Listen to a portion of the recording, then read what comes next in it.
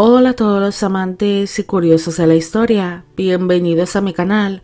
Hoy os traigo la vida de Eugenia Martínez Vallejo, más conocida como la monstrua. Ella sirvió entre la corte del rey Carlos II de España y fue incluso retratada en dos ocasiones por el pintor Juan Carreño de Miranda. Eugenia formaría parte de un grupo de personas que sufrían deformidades físicas o problemas mentales, siendo conocidos como las personas de placer, los cuales vivieron dentro de la corte española junto a los reyes, los infantes y la nobleza de la época. Esta biografía es realizada por petición de Claudia Viviana Marín, Beatriz Quiroz y Lady P. Eugenia Martínez Vallejo nació en el año 1674 en el municipio de Bárcena de Pienza, en la provincia de Burgos, en España. Fue hija de José Martínez Vallejo y de la esposa de este, Antonia La Bodega Redonda. Su nacimiento fue un tanto especial. Su madre se encontraba dentro de la iglesia del municipio cuando rompió aguas y el parto fue tan rápido que no pudo regresar a su casa, alumbrándola allí mismo. Esto fue visto por los presentes como un buen augurio y aseguraron que la recién nacida sería muy afortunada. La niña era muy grande cuando nació y pesaba mucho, siendo ya bastante rolliza en el momento del parto. Esto fue visto como que la niña estaba muy sana y que gozaría de buena salud durante su infancia. Se sabe que Eugenia tuvo hermanos, pero se desconoce cuántos exactamente. De lo que sí que constancia es que sus padres pronto se dieron cuenta de que la niña estaba creciendo de una manera inusual en comparación con otros niños o incluso con sus hermanos. Esta tenía un apetito voraz y según fueron pasando sus primeros meses de vida, ella empezó a engordar muchísimo. Incluso se dice que durante su primer año de vida, la niña llegaría a pesar aproximadamente unos 25 kilos. En cambio, se sabe que sus hermanos no nacieron con el mismo problema y tuvieron un crecimiento bastante normal. Poco a poco, Eugenia empezó a ser famosa en las poblaciones cercanas y con el tiempo su fama llegó hasta la corte española.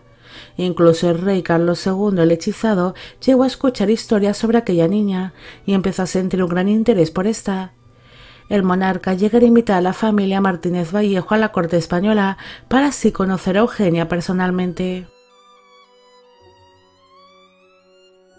La niña tan solo tenía seis años cuando llegó junto a sus padres a la corte madrileña. Allí se reunieron con Carlos II. El monarca quedó realmente fascinado con la apariencia de la chiquilla. Se cree que por aquella época Eugenia ya pesaba alrededor de 80 kilos. El rey propuso la idea de que la niña formase parte de la corte española, a lo que los padres de ésta aceptaron de inmediato. Sus progenitores prefirieron que la niña viviese en el palacio en vez de con su familia, porque Eugenia era el blanco de numerosas burlas. Muchos de sus vecinos o personas de poblaciones cercanas se acercaban hasta la casa de la familia Martínez Vallejo solamente para burlarse o reírse de ella, Además, se sabe que Eugenia vivió prácticamente oculta durante sus primeros años de vida y apenas salía de su casa por miedo a las continuas burlas o a los insultos que recibía por su aspecto físico.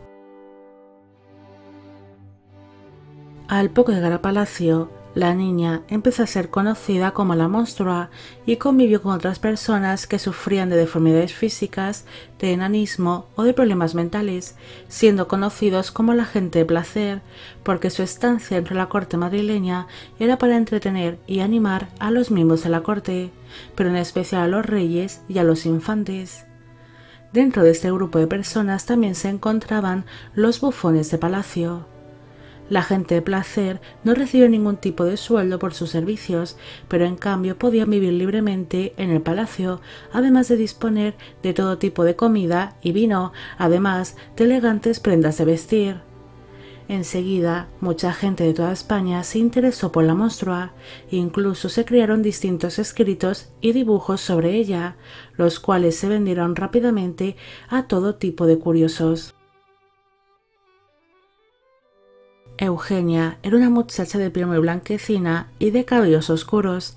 Según dicen, su rostro parecía de una mujer adulta, además de tener una expresión y una mirada triste. Se cuenta que su cabeza era demasiado grande para una niña de su edad y su vientre estaba tan abultado que se asemejaba al de una mujer que estaba a punto de dar a luz. Su cuerpo tenía tal volumen que le daba una apariencia un tanto deforme. La monstrua apenas podía moverse con normalidad o incluso permanecer de pie.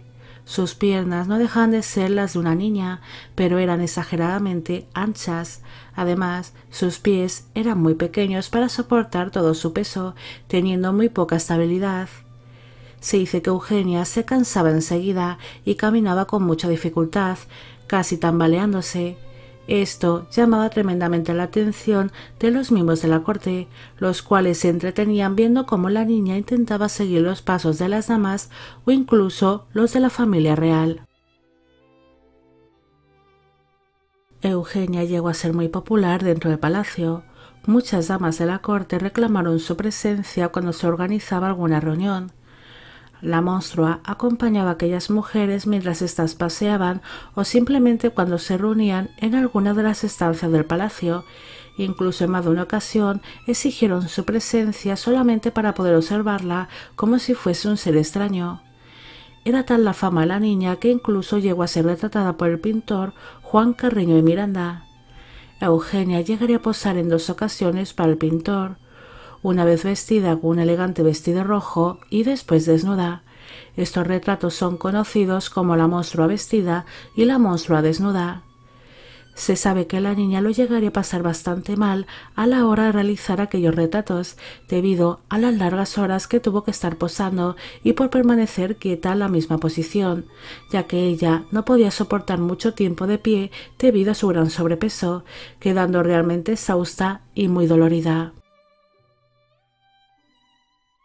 Se cree que Eugenia padeció el síndrome de Prader-Willi, donde se destacan los problemas de crecimiento y de desarrollo, además de su gran obesidad.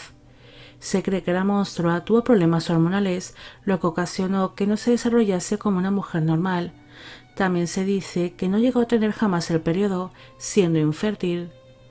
Pese a sus problemas de salud y de tener un rostro que reflejaba cierta tristeza, se sabe que la niña llegó a disfrutar de su vida en palacio, pese a sus limitaciones físicas y a su mala salud.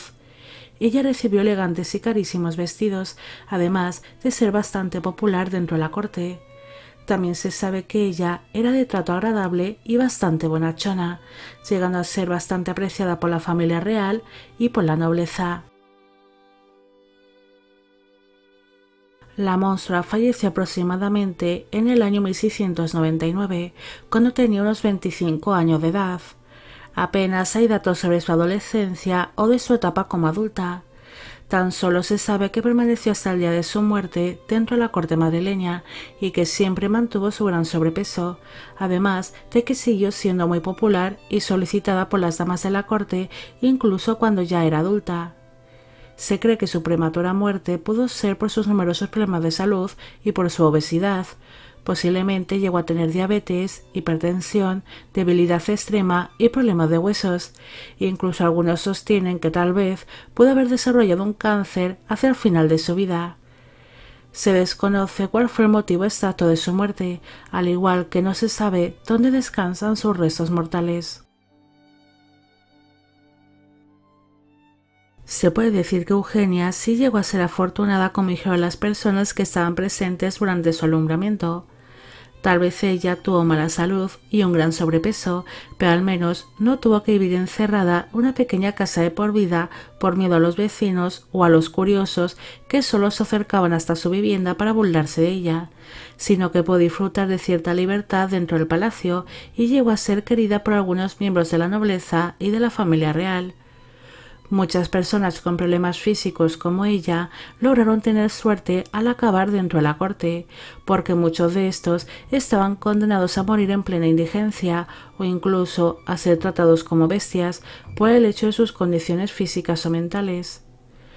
En la corte no dejaban de ser vistos como simples animales de compañía, aunque suene mal la expresión, pero al menos recibían más respeto y protección que en el mundo real. Bueno amigos, llegamos al final de la vida de Eugenia Martínez Vallejo, más conocida como la monstrua. Espero que os haya gustado esta historia y espero que a Claudia Viviana Marín, a Beatriz Quiroz y a Lady P también. Como siempre, agradeceros todo el apoyo que recibe el canal. Mil gracias por ver los vídeos que voy realizando y sobre todo agradeceros de corazón de que forméis parte de Biopic Channel.